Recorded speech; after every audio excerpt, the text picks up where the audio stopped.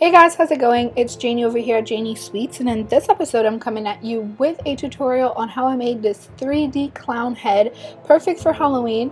I had made this cake last year but for some reason YouTube was messing up with the URL so I'm bringing it back because I absolutely loved it. So if you want to learn how I made this cake, keep on watching begin with, I am starting out with a cake that I've baked in the shape of a skull. I used a regular vanilla cake recipe and I've just added some red food coloring as opposed to just using um, red velvet because red velvet doesn't have any butter and you want a cake that has a high butter content inside of it so that it can get nice and firm in the fridge and you can manipulate it for long periods of time. Um, so I just used that and I've got some, some regular white chocolate ganache that I've dyed red and I um, covered it completely. I give a little bit more instructions on how to get to this step. If you check out my last DIY um, Day of the Dead cake, that was my last Halloween tutorial, I go in depth and step by step on how to get to this step. So definitely check it out. I will link it for you guys in the description box below. So right here um, i am just using pieces of fondant to accentuate um, parts of um, his face because he has um, some pretty high cheekbones and a more pronounced bottom lip. So I wanted to make sure I bulked him up before I covered him in fondant. So I'm just using regular white fondant. I'm going to roll it out um, pretty thin and then I'm just going to use um, that fondant and cover his face completely.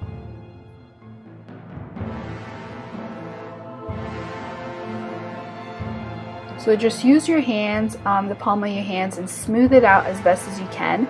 And it doesn't really have to be smooth because he does have wrinkles all over his face. So if it's not 100% wrinkle free, don't really stress out over it. It's gonna be fine.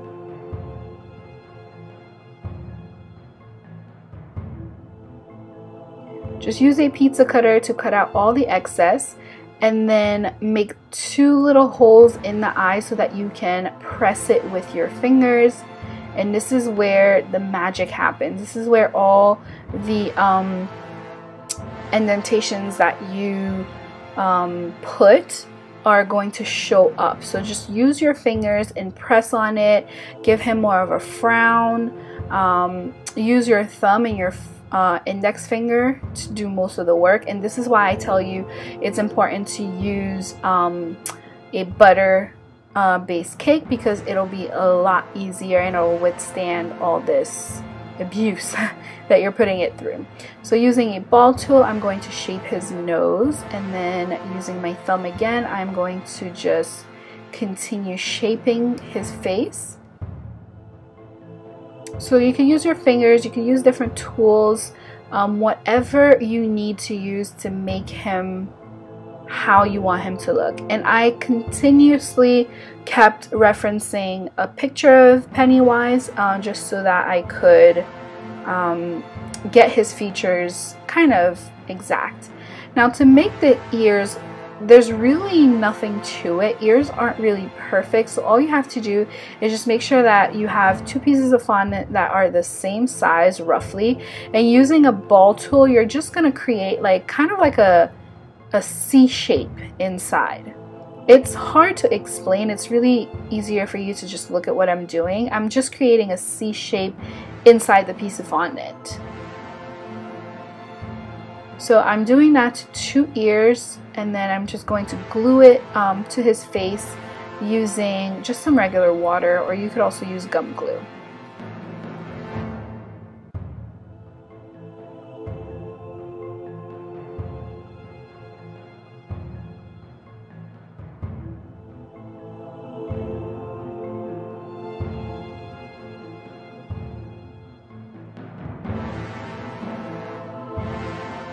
Now the best way that I found to make his hair is I use some of my ganache mixed up with um, some Rice Krispie treats and I've just crumbled it crumbled it all together and I'm just going to use that to attach to his head. Um, with a little skewer I'm just going to push onto um, the cake and then create the front or the left side of his hair and then put a little bit on the top and that's going to create the front and then do the same to the opposite side. And I'm just going to use my hands to mold it however I want it to look. Because he, when you look at him, have has two um, sides of his hair and then a little bit in the front. So I'm just using the rest of the Rice Krispies to add to the back of his head.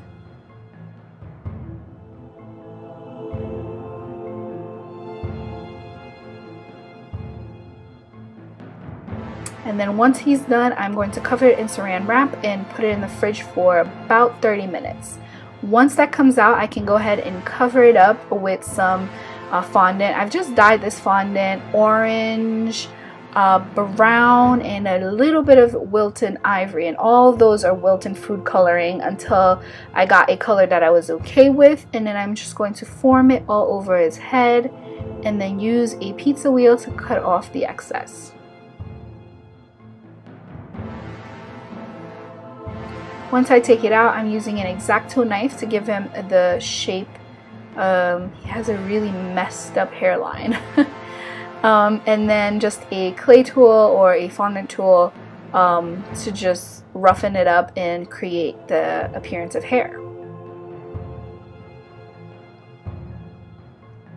Now the fun part begins. This is where you get to um, bring him to life. So I am just using some um, food coloring in an airbrush machine and I'm going to airbrush him with a little bit of black um, all around his eyes, inside of his mouth, and a little bit around his hairline.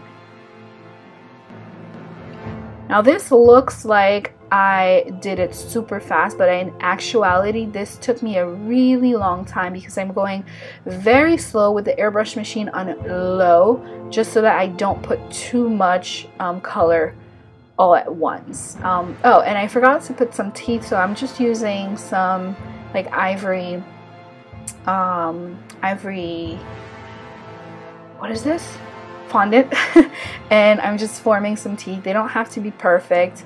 And I have some uh, white fondant and I am putting his eyes there and I'm going to use brown mixed with black and make his features a little bit more pronounced. I've used that same brown to make the eyeballs um, or the iris. I don't know how you call that little brown part in the middle of your eyes. Um, then I switched to red, which I still mix with a little tiny bit of brown so that it's not super red, like bright red. And I'm using that to um, spray his nose and his lips.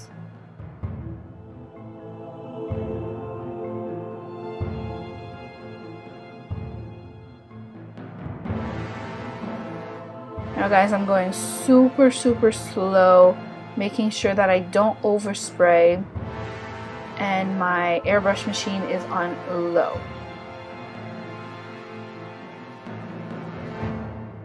You definitely want to make sure that you bring all the colors all over his face. So don't just stick to brown. Just make sure you add some white, uh, I'm sorry, some black, some red all over so that it really um, looks more uniform.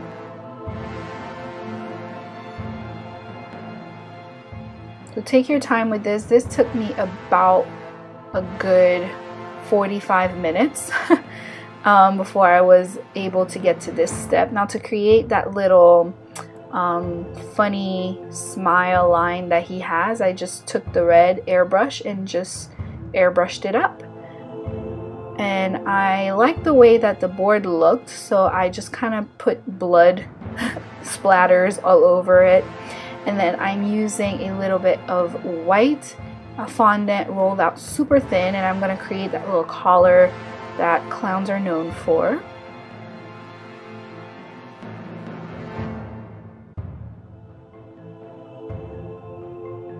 And then I'm using my X-Acto knife to give him a bullet hole in his skull because like I said I wanted to zombify this clown.